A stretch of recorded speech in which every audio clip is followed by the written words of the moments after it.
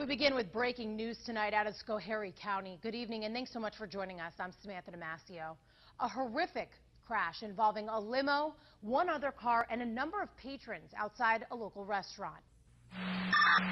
Multiple ambulances, folks, midlife on standby. Receive multiple ambulance, midlife on standby. What can we can tell you at this point is that this is a two-vehicle, multi-fatalities uh, as a result of this crash. The investigation is very preliminary. It's in its infancy stages.